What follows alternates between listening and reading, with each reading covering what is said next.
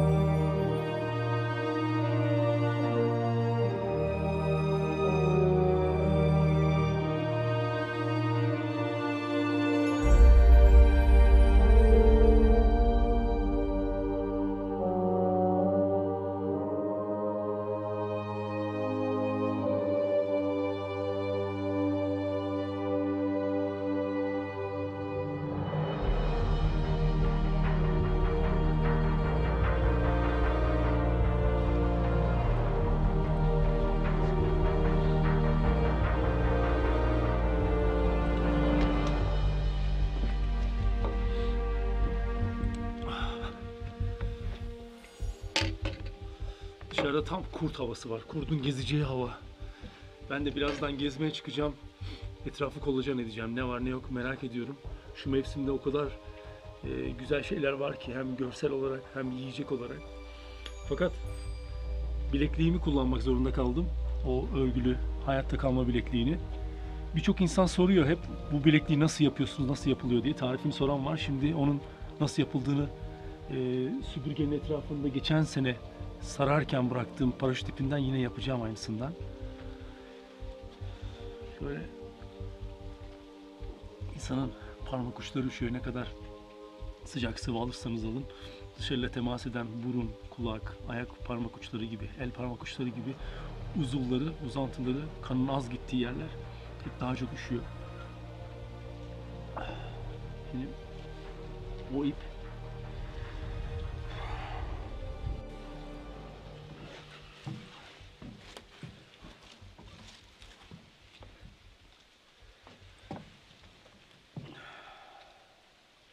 ...2012 Mayıs ayında attığım düğüm... ...neredeyse bir buçuk sene oldu. Hala aynı şekilde duruyor. Kim bilir buraya ne kadar insan geldi gitti. Bu süpürge bayağı da kullanılmış. Uçları kırılmış bakın. Yıpranmış, hırpalanmış. Ama hala iş görüyor. Ne kadar kullanılırsa o kadar iyi. Çünkü kullanıldıkça alt tarafları değen yerler aşınıyor ve daha çok tüylü hale geliyor. Daha ince, daha detaylı süpürmeler olabiliyor öyle.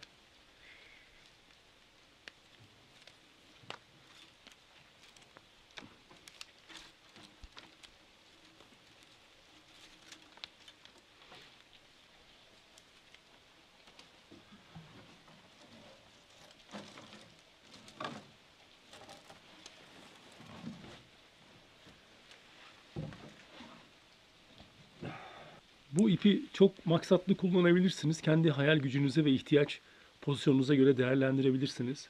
Ben mesela balık yakalıyorken içerisinden çıkardığım ince parçacıkları bir araya getirip olta yapmıştım kendime.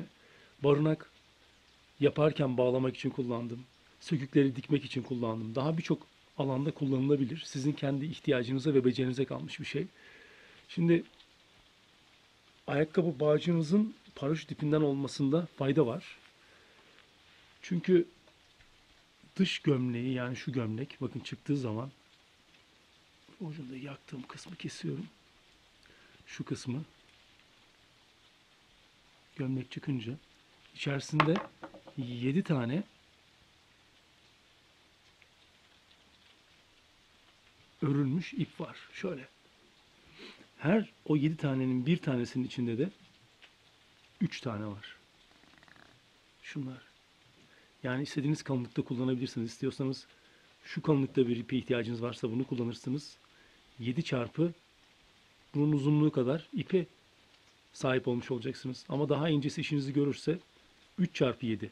Bir de dış gömleği sayarsanız ipin boyunu da hesaba katarsanız ne kadar ip olduğunu hesaplayabilirsiniz. Sizi bayağı bir götürecektir doğada ihtiyacınız olduğu zaman. Şimdi bir ayakkabı bağcı da aşağı yukarı botta bu kadar olabilir. İnsanın kendi boyu kadar ipten bileklik örmekte fayda var. Zaten bileğini de anca kaplıyor. Bu benim neredeyse boyum kadar. Gayet iyi. Aşağı yukarı 2 metre bu. Şimdi bu üst kısmında örülecek olan parça. Bir de iç kısımda bileklik olarak bileğimi saracak olan bölme var. Kısım var. O da bu. Buna şöyle bir adi düğüm atarak hatta biraz kalın yapayım. 8'li düğüm atayım şöyle. Bir tur çeviriyorum şu halkayı. Kendi içinde etrafında bir tur daha çevirip iki açık kalan ucu arkadan çıkarıp yukarı doğru şu halde kalın bir düğüme dönüştürüyorum. Bunu bileğime takabilmek için güzel bir düğüm. Şuraya başka bir aksesuar da yapılabilir. Bunun görseli de güzel, işlevli de. Aslında bunu sarıp şöyle yanınıza da alıp taşıyabilirsiniz. Çok zor değil. Böyle yanınızda taşıyabilirsiniz cebinizde. Ama farz edin ki cebinizde unuttunuz ya da düşürdünüz. Ama bileğinizde o unutulmayacak ve düşmeyecek. O yüzden bileğe takıyorum. Hem güzel aksesuar olarak duruyor o örgü. Hem de ihtiyacınız olduğunda kaybolmadan kullanabildiğiniz bir malzeme sonuçta. Şimdi bunu bunun üzerine örme- öreceğim. Karşıdan birinin normalde tutması gerekir daha kolay örebilmem için. Tek başıma da örebilirim ama bu işi daha zevkli, daha hızlı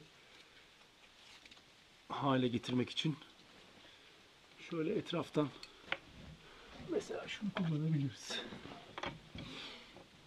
Bu da yine bir şeyler astığımız düzeneklerden bir zaman kullanmışız. Karşıdan bir tutamak yapmam gerekiyor. Şu aradaki boşluğa sıkıştırabilirim. Şöyle.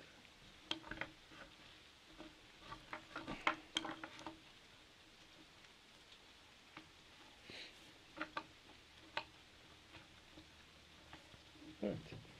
Buraya oldu. Şimdi bunu da buraya tutturmak lazım. Onu da yanımda şehirde hiç taşımayacağım şeyler. Ama bunlar hoşuma gidiyor. Cebimde bazen evde şehirde dışarıda dolaşıyorken elime atıyorum içinden küçük çakı çıkıyor işte cepten. Böyle ipler çıkıyor. Bazen yediğim bir şeyin plastik kabı çıkıyor. Atmadım cebime koydum. Şöyle yapalım.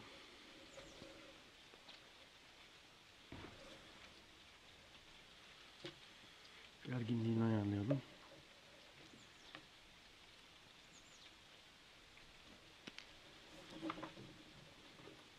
Sen daha mı iyi oldun ya? Evet. Şunu yapalım. Şöyle. Bu daha iyi oldu.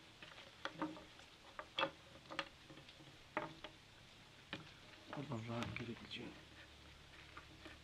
Bir açıda. Biraz yukarı kaldıracağım daha rahat çalışabileyim diye. Şöyle. İpin tam ortasını bulmamız gerekiyor.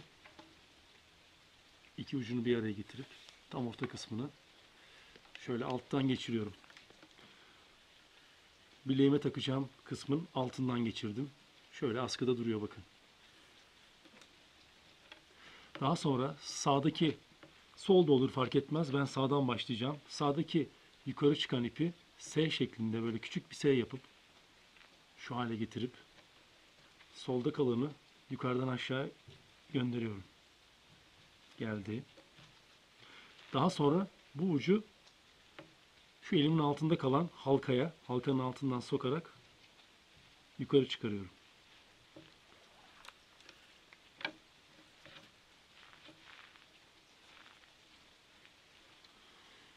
İki ucu eşit mi hala bakalım değil. Bu taraf uzun. Orayı biraz kısaltalım. Bu tarafa gönderelim. Bir daha bakalım. Çok az daha kaldı. Bir 3 santim kadar. Evet. Artık tamam. Bundan sonraki işlem o kadar basit ki sadece dikkat etmemiz gereken küçük bir nokta var, ayrıntı var. Şöyle iki tane uç var. Ucun bir tanesi halkanın içinden geçip aşağı doğru gidiyor. Bakın şöyle. Asıl S yapacağım uç bu olacak. Yani S'yi aşağı gidenden alıp oluşturuyorum. Sonra diğerini üstteki halkanın içinden geçirip altından dolaştırıp yukarı alıyorum. Çok basit. Şimdi bakın sağ tarafa geçti. O halka burada ve bu aşağı gidiyor. Ne yapacağım? Bunu S yapacağım şöyle. İki tane halka oluştu bakın şurada. Üstten girip altından çıkaracağım. Şöyle. Çok basit.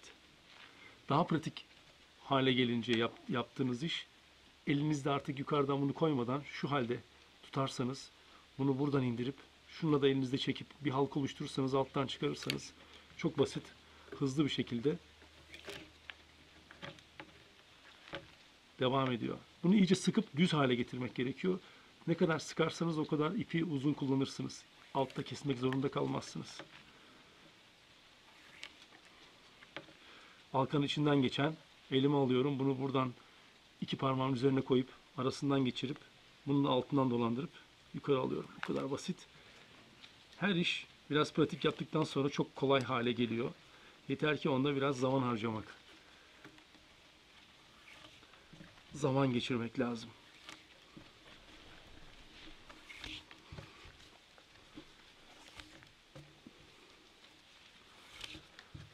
Halka, halkadan aşağı inen üstten geçiriyorum, alttan çıkarıyorum. Bu sefer halka burada, aşağı inen burada.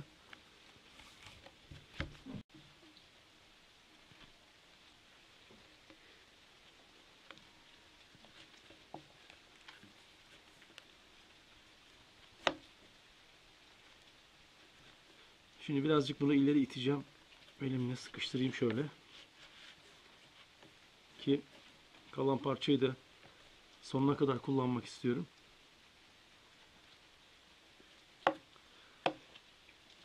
Bir tane daha yapabilirim şuradan.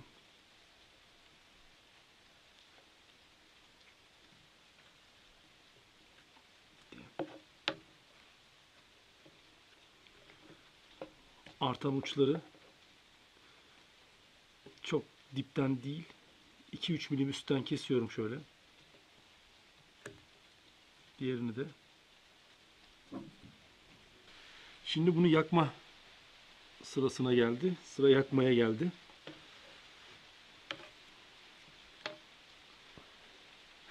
Devrimci çakmağını alabilir miyim?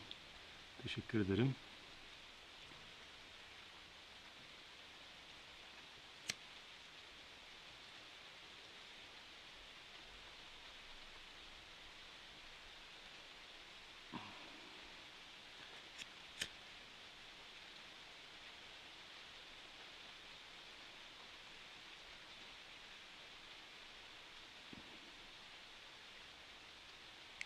Böyle yandıktan sonra açılması zor. Sadece bıçağınızla ağzını kestikten sonra kolayca açabilirsiniz. Şimdi şu uç kısmını da bakalım bileğime uygun oldu mu? Boyu gayet iyi. Düğümün olduğu yerden keseceğim. Şöyle kesmek gerekiyor.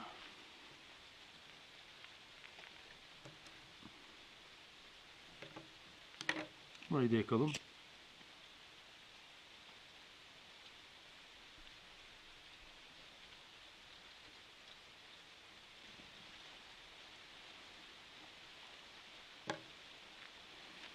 Teşekkür ederim.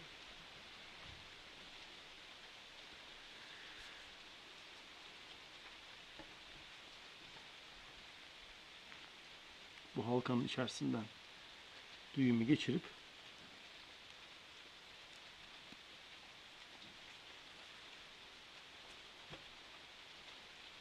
Tamamdır. Bunları yine yerine takalım. Lazım olacak ileride yine.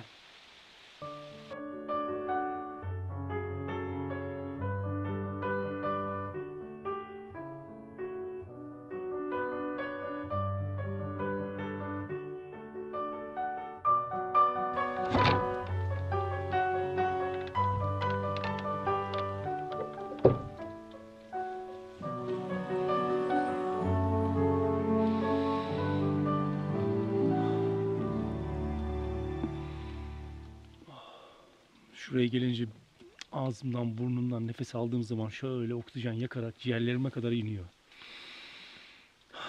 Sonra hareket ettikçe kaslarımın ucuna kadar yürüdüğünü hissediyorum. O kadar temiz ve o kadar güzel bir hava var ki şurada soluduğum.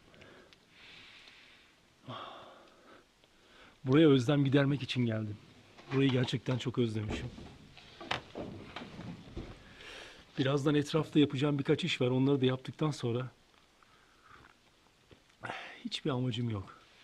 Amaçsızca orman içerisine girip gönlümün içindeki sesin nereye gitmek istediğini elimi göğsüme koyup hissederek oralara gideceğim. Nasıl olsa aşım var, ateşim var, evim var.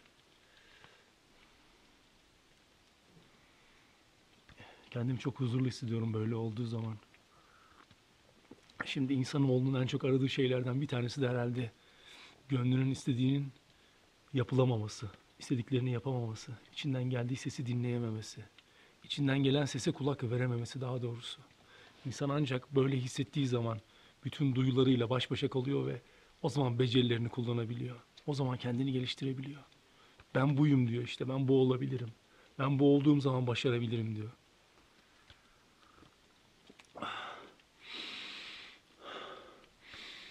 Normalde sinüslerim şehirde dolu olur böyle ama dağa geldiğim zaman nedense hep havanın o güzel solumak için ideal oksijen oranını yakaladığında, o havayı yakaladığında burun deliklerim tamamen açılıyor. Ciğerlerimi yakarak içeri giden bir oksijenle içim besleniyor. İncecikten de yağmur yağıyor. Fakat yağmur du- duracak. Yağmur kuşu yağmurdan önce öttü. Yağmur dururken de ötüyor. Birazdan yağmur havada yükseliyor. Yağmur duracak. Ses aşağılara basıyor. Yukarısı da hava basınç yükselmeye başladı.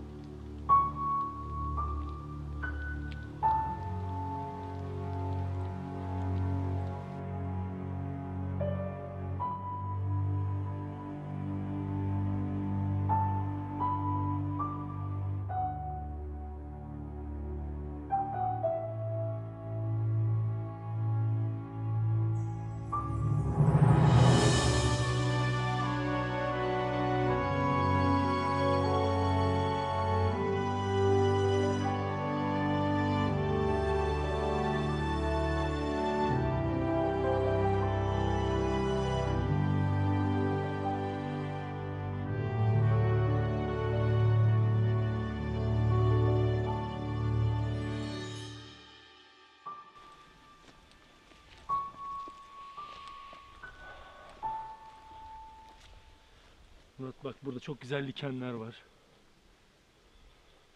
Çok eski bir sarı çam gövdesi. Şunun içerisi şöyle şu büyüklükte bir sarı çam düşünün. Belki de bundan 20-25 sene önce bunun devrildiğini hayal ederseniz veya kesildiğini 150 yıllıkta bir ağaç olduğunu düşünürseniz yani 175 yıl önce burada tohumlanmış bir çam. Şu an o çamın içindeyim düşün o gövdenin. Kökler içerisine doğru yayılmış. Aslında hayatın detayları içerisinde o kadar güzel mesajlar var ki. Bak şurada çok güzel bir şey var. Bu puf mantarı içerisindeki toz yaralara muazzam geliyor. Yaralın, yaranın üzerindeki enfeksiyonu gidermek için içerisindeki tozu kullanırsanız şey gibi düşünün. e, antibiyotik gibi. Bakın işte bunun içerisindeki tozu antiseptik olarak kullanabilirsiniz yaranın üzerine. Bu böyle kapalı bir mantar düşünün. Şöyle. Ne muazzam bir yapısı var ya. Şuna bakın. Bakın şimdi içerisinden çıkacak toza. Bakın.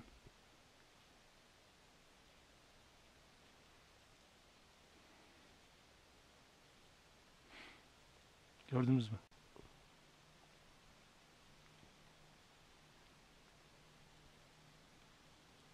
Aynı zamanda bu sporlar zaten kendiliğinden parçalandığı zaman etrafa gidecek.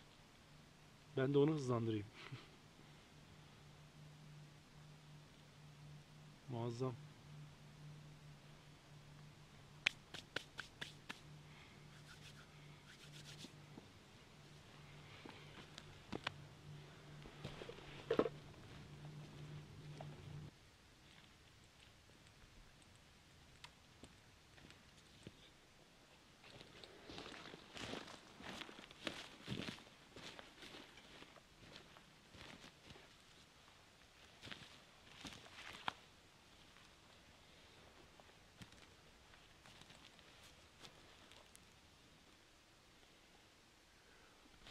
Yosunun nemli olduğunu hepimiz biliyoruz. Fakat burası kurumuş. Yani bayağı bir zaman önce buradan birisi geçmiş ya da bir hayvan geçmiş. Benim yürüdüğüm güzergah patika. Hayvanların izini takip ederseniz sizi hem suya götürür hem yiyeceğe götürür. Onların izini takip etmek hayatta kalmanıza yardımcı olabilir. Bakın buradan kuru. Eğer nemli bir yüzey ilk kalktığı zaman şunun haline bakın ne kadar yumuşak. Şuna bakın. Sert bir parça. Yeni kalktığı zaman ne kadar yumuşak görüyor musunuz? Bu daha evvelden kalkmış ve yerdeki temasını kestiği için havada havaya temas ederek kurumuş. Buradan böyle patikadan devam devam etmiş derken kendimi kurt gibi hissediyorum. Öyle bir histe yürüyorken orada bir dışkı var. Muhtemelen kurt dışkısı.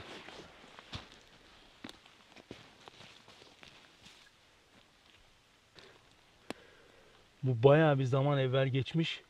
Bu kadar büyük olamaz. Bu ancak kurttur. Ayı zaten değil. Bakın ne yediğini göstereceğim. Burada daha çok otobur ayı var.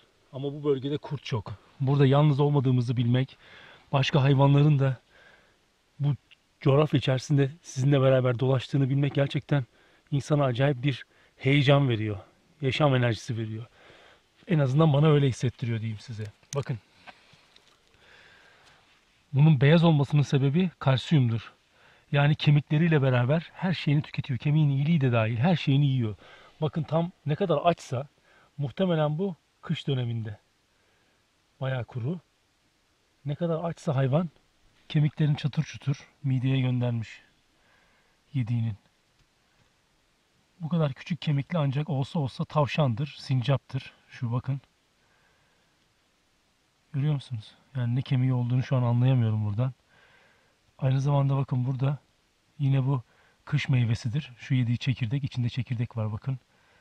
Bu bir bakıyorum iyice kuşburnu çekirdeğine benziyor. Evet. Şu. Kemikler. Bakın tüyler var burada. Tüyler gözüküyor. Yediği. Şunlar. Beyaz. Beyaz bir hayvan. Kuvvetle muhtemel bu yediği tavşan. Her şeyle yemiş.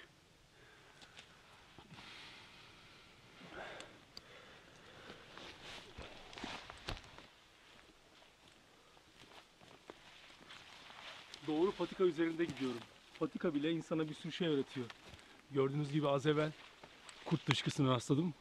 Ne yiyebileceğini, buradaki bir hayvanın, bir canlının ne tüketebileceğini de onun dışkısından takip ederek heyecanlı bir şekilde ormanda, dağda ilerliyorum.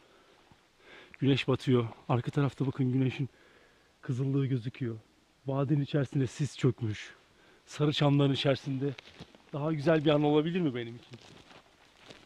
Giderim yolumdadır Vay bu ne bağdır Ben kazanım yar yesin Ne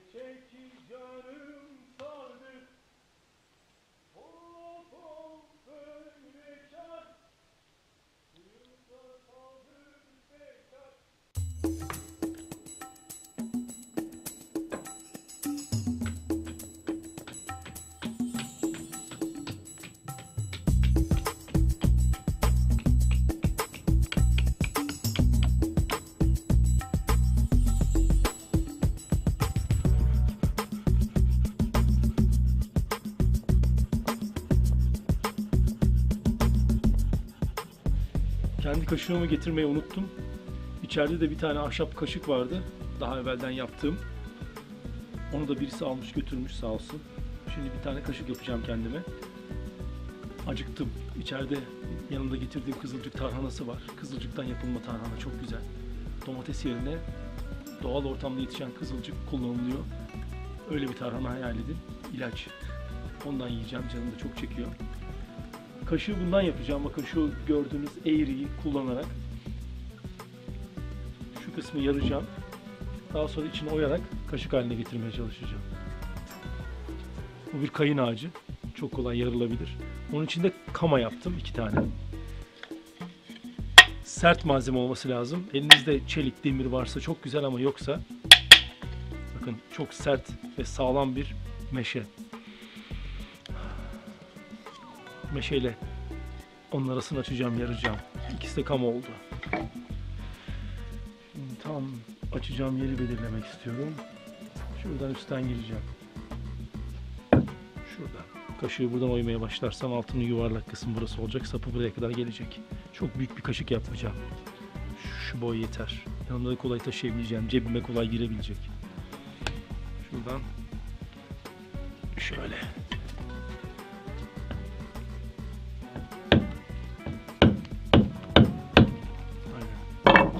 Testereyle yine oradan bir yer açacağım. Daha sonra kamayı göndereceğim.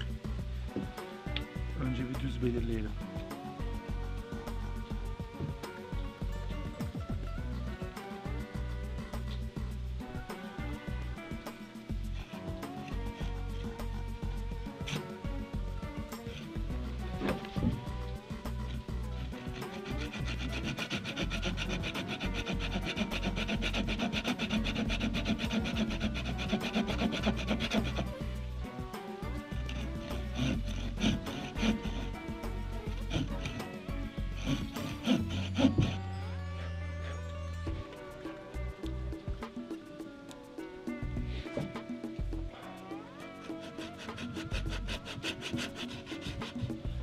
Dikkatli kullanmak lazım testereyi.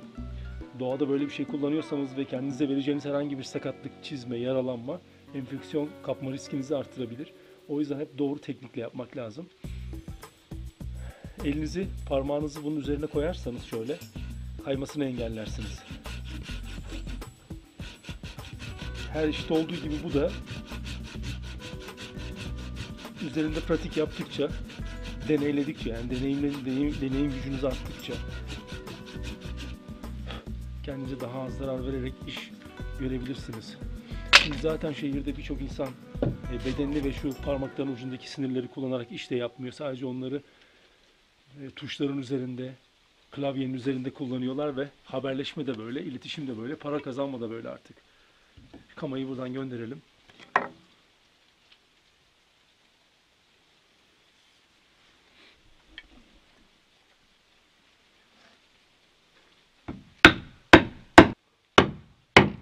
Elimde hissedebiliyorum. Şurada tuttuğum yerde çatlama başladı şuralarda. Bakın nitekim çatlak şuradan ilerliyor. İçeri doğru. Doğru yerden gidecek. Ayağa kalkıp daha dikkatlice üstten yaptığım işi net görerek vuracağım.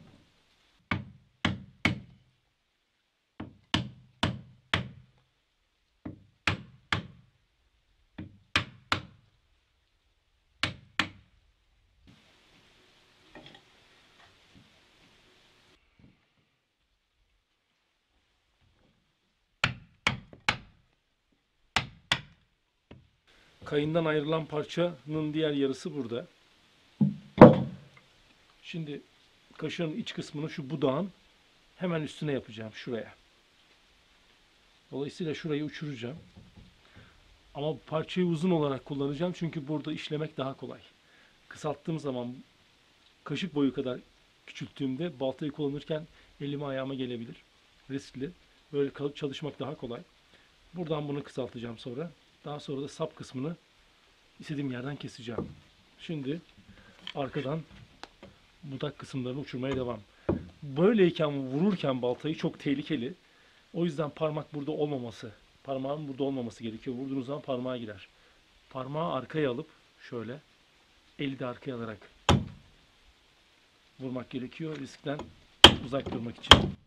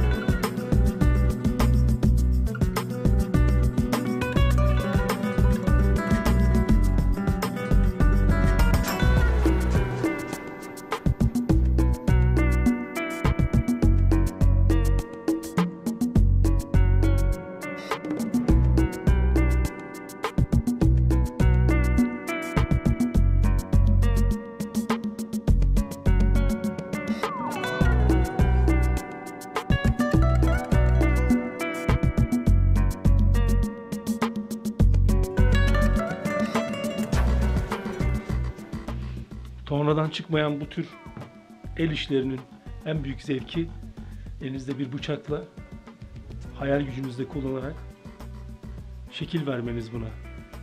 Daha sonra ise yemek yaparken yediğiniz yemekten aldığınız haz tabii ki. Kendi yaptığınız kaşıkla, kendi pişirdiğiniz yemeği iyi olmanın zevki herhalde hiçbir şey değişilmez.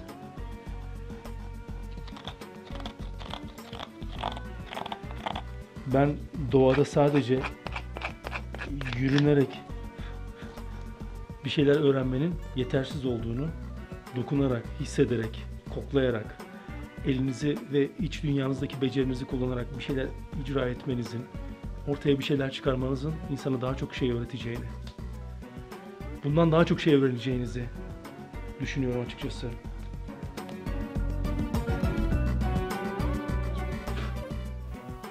Çocukluğumda yaşadığım yer, üniversite yıllarıma kadar dağda, kırda, ormanda ya da bir gölde deneyim yaşamama olanak veriyordu.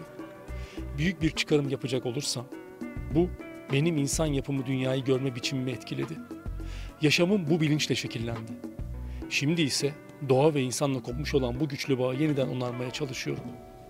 Toprağıyla ve atalarının yaşam kültürüyle bağlarını koparmış toplumların yok olup eridiğini, tarihi karıştıran herkes görecektir. Devlet bütünlüğü ve halkın refahı için güzel bir söz geldi aklıma. Devletin olması için askere gereksinim vardır. Askerin olabilmesi için servet dağıtman gerekir. Servet edinmek içinse halkının zengin olması lazım. Halkın zenginliğini ise ancak örfler sağlayabilir. İşte bu örf atalarımın bana yüzlerce yıllık deneyimlerini bir bayrak gibi taşıyarak ulaştırdığı yaşam deneyimidir.